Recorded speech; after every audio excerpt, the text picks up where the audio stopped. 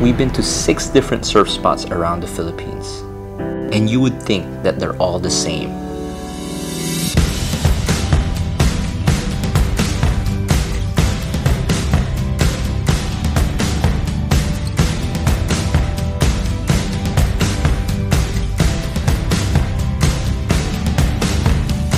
Lanuza is a small town packed with raw landscapes, good company, and really, really great surf.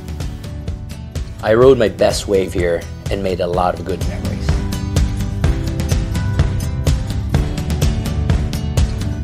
It's a quiet place that takes you back to your roots. There's no restaurant scene, no nightlife, not many tourists, but it's far from boring.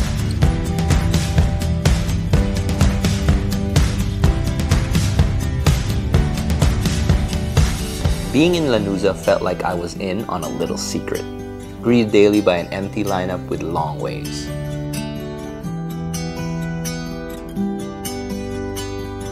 There's a famous saying, practice makes perfect. It's hard work repeating something over and over again until you get it right.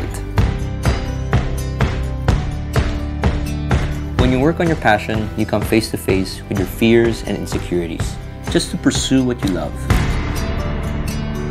Be it surfing or cooking, you try to ride that perfect wave and make that standout dish.